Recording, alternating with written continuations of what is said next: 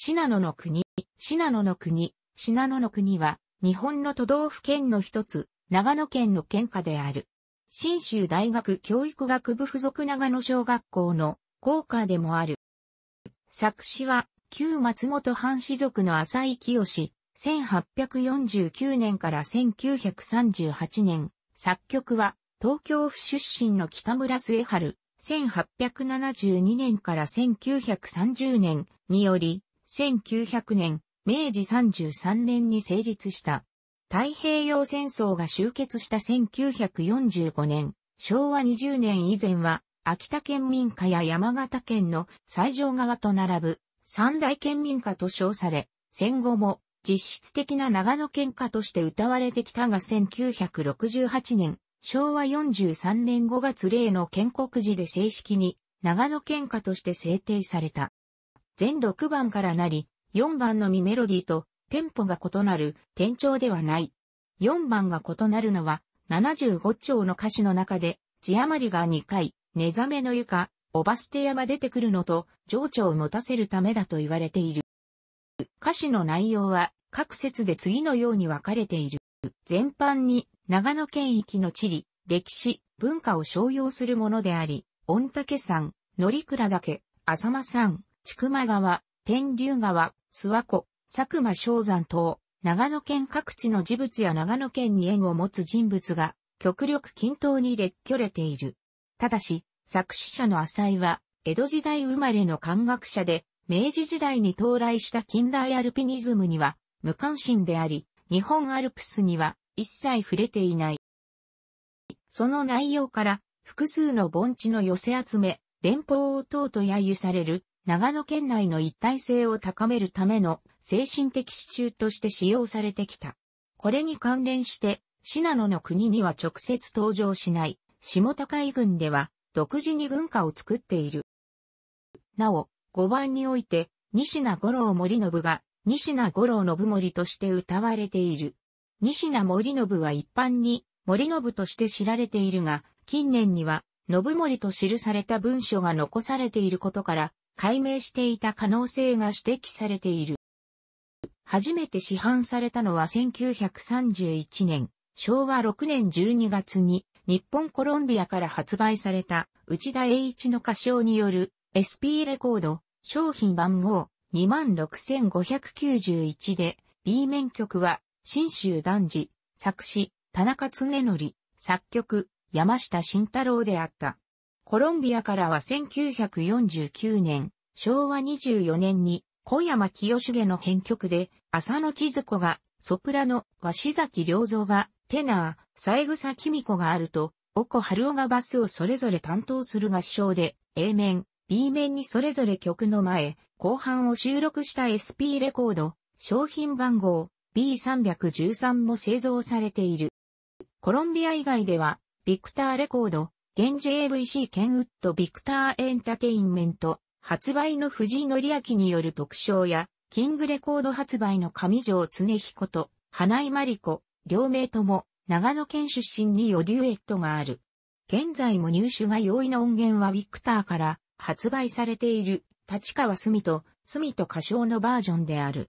1971年、昭和46年にシングル版、商品番号、SGC-119 として発売さた後、1992年、平成4年に8センチ CD、商品番号、ビッチ -3 万1化され、2014年、平成26年には12センチ CD としてシングル版のジャケットを復元した新装版のマキシシングル、商品番号ビール -3 万6950が発売された。立川の歌唱するバージョンは、アルバム、決定版シナノの民謡、商品番号、VZCG-87 にも収録されている。各種のアレンジに関しては普及度を参照。シナノの国は、もともと郷土教育を目的として作られた歌であり、その歴史は明治時代初期まで遡る。現在の長野県域にほぼ相当する信濃国内の各地域は産地、気候、交通網によって随所で細分されており、江戸時代にも多くの藩や天領に分かれており、明治時代に至ってもなお、旧藩や旧天領に住民の貴族意識が残存していたため、県域全体の一体感は希薄であった。1871年、明治4年の廃藩置県とその後の府県再編により、現在の長野県は、長野に県庁を置く、長野県と松本に県庁を置く、千曲県、現在は岐阜県に属する飛騨国の領域も含んだに分かれていた。しかし、1876年、明治9年に松本の千曲県庁舎が消失したことを機に、同年8月20日、千曲県が廃止され同県が管轄していた信濃国の部分が長野県に編入された。その結果、信濃国全域が長野県の管轄下に入ったが、以来、南北戦争、南北格差とまで呼ばれる激しい地域対立が続いており、県民意識の一体性を高めることが現代に至るまでの大きな課となっている。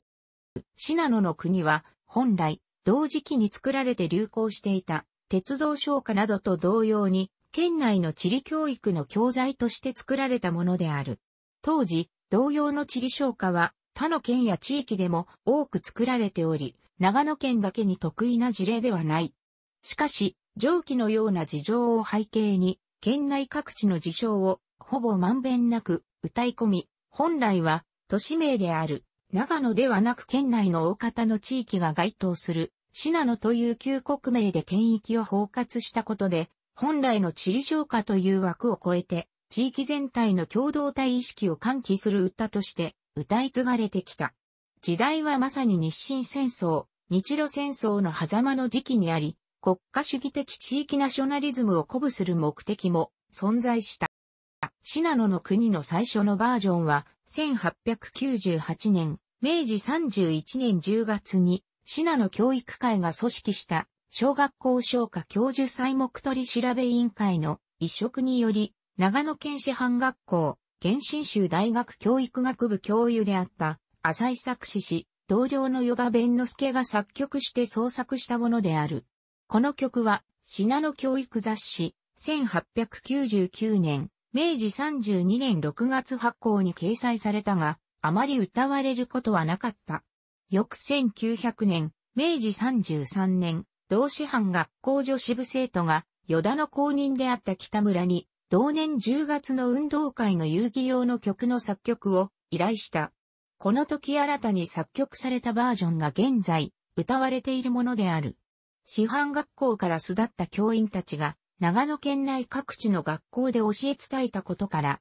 この曲は戦前から長野県内にあまねく定着した。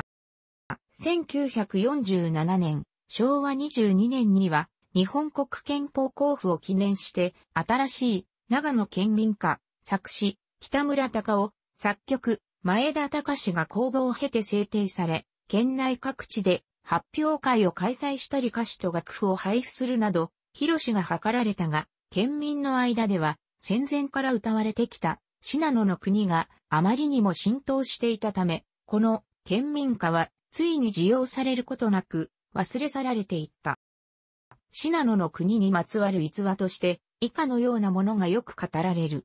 1948年、昭和23年春の第74回定例県議会で、長野県を南北に分割しようとする文献意見書案が、中心、南進地方、合併前の魔県域出身議員らから提出され、分割に反対する北進出身議員の病欠などもあって可決されそうになった。この際に、傍聴に詰めかけた分割に反対する北進地方と東進地方、合併前の長野県の住民たちが突如として、信濃の国の大合唱を行い、分割を求める県会議員たちの意思を潰して、分割を撤回させたと言われている。しかし、当時の県職員は、投票前に歌が歌われていた記憶がなく、また、仮に県議会で分割案が可決されたとしても、政府や国会は文献を認めない方針であったとしている。信濃の国はかつて、長野県内の多くの小学校、中学校、高校で様々な行事の際に歌われてきたため、俗に、新州、長野県育ちなら、信濃の国を歌える、会議や宴会の締めでは、必ず、信濃の国が合唱される、県内在住者であっても、信濃の国を歌えなければ、よそ者とやや誇張気味に語られるほど、新州人、長野県民に深く浸透していた。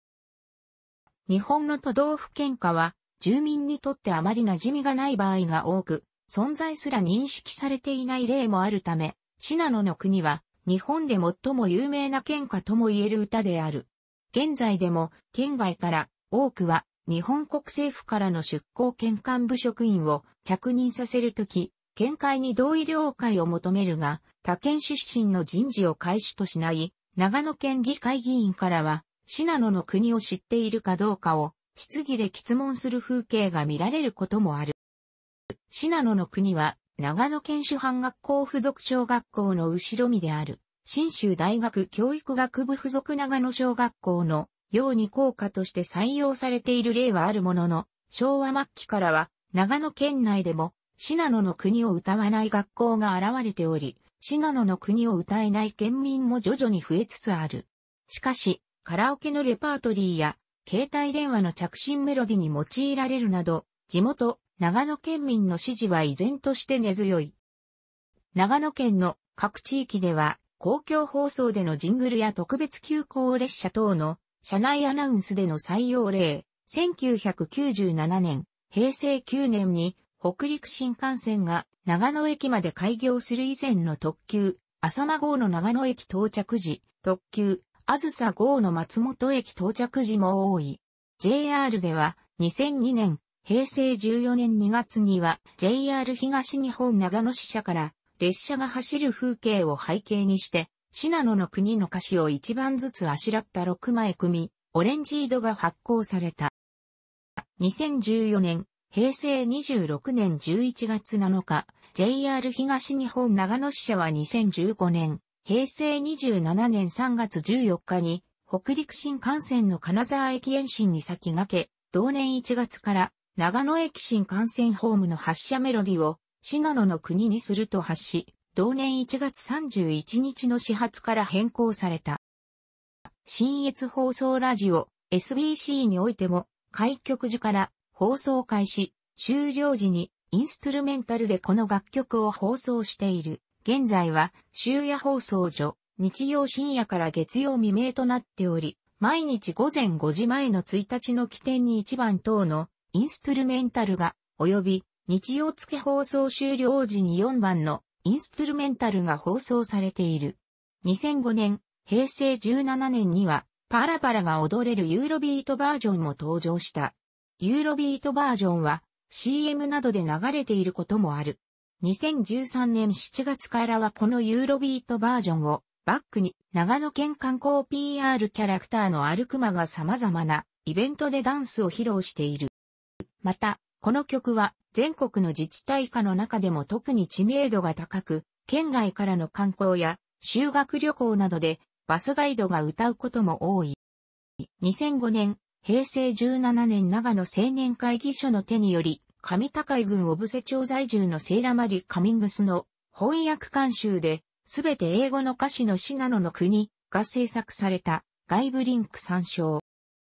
2015年、平成27年6月に宇宙で6ヶ月程度滞在することが決まっている宇宙飛行士のゆいかめみや南作郡川上村出身は機内放送されるかわからないが信濃の国を ISS で歌いたいと話している。また、北陸新幹線の一部先行開通記念の長野駅でのセレモニー、1997年10月や長野オリンピック、1998年2月の開会式における国家君が代聖賞の次に、信濃の国を歌ったほか、日本選手団の入場行進時などに代表されるように、長野県に関わる公的行事の伴奏音楽としても頻繁に取り上げられている。高校野球の全国大会で長野県代表の応援歌としても使用されており、出場校の出身者でなくても、ほとんどの長野県人が歌えるという普及度の高さが活かされている。長野県を本拠地とするスポーツチームの応援歌として使用されることが増えている。1999年の NTT 再編により、クラブチーム化した NTT 新越公式野球クラブ、当時、現新越公式野球クラブが従来の NTT 社か応援歌に代わり使い始めたのを皮切りに日本プロサッカーリーグ J リーグに加盟する松本山雅 FC の試合ではちゃんとサポーターソングとし歌われている。プロ野球独立リーグベースボールチャレンジリーグ BC リーグに所属するシナのグランセローズの主催試合でも歌われる。B リーグに所属する新州ブレイブウォリアーズの試合でも使用される。歴史の項目で述べている文献問題にまつわる逸話を題材にして、作家、内田康夫が、信濃の国殺人事件を書いており、信濃のコロンボ事件ファイルの一編として、TV ドラマも作られた。県内では、長野市に2期、長野県庁舎前と東京大学地震研究所、新越地震観測所前、佐久市に1期、佐久市立国保浅間総合病院前、吉沢先生か日のり面、松本市に1機、新州スカイパークの噴水地付近の合計4機の可否が建立されている。県下、信濃の国の名称の発音抑揚は一種、独特であり、長野県で教育を受けた人間以外には意外と知られていない。信濃の国、太字が脅威となり、この抑揚を間違えると、よそ者だとみなされることがあるので、注意が必要である。楽しくご覧になりましたら、購読と良いです。クリックしてください。